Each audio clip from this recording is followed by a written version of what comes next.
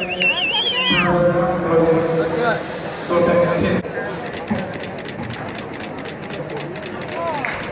you.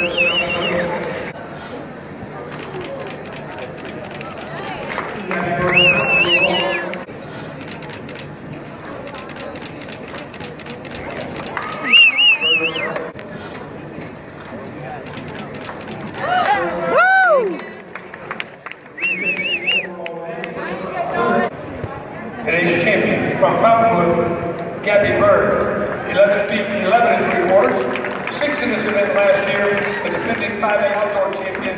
Her seasonal best mark of 12.10, number 8 on the national.